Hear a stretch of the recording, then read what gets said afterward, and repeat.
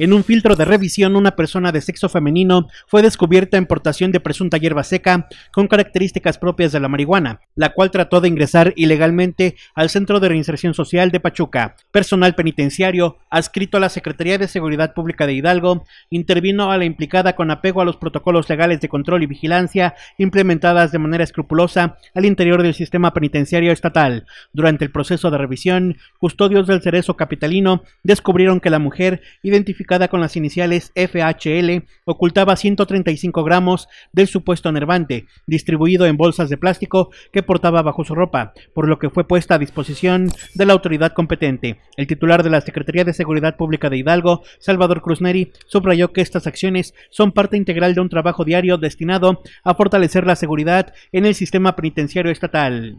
Oscar Recendis, para Mezquital al Día.